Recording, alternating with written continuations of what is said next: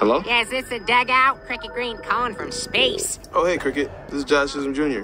Wait, did you say space? Our family road trip took a little detour this year. Long story. It could be a whole movie. Wink.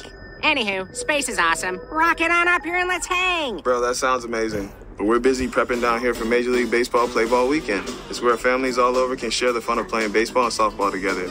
You can play anywhere. How about a game up in space? What an idea! We already got the helmets. If we don't wear them outside, we explode. And I think I just found a bat. Play ball! What was that? It's uh, just my dad ready to play a game of catch.